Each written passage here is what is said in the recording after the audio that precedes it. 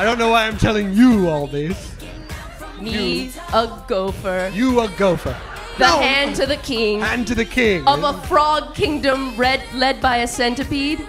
No, just a marsh kingdom. Well, it was his kingdom until I took it.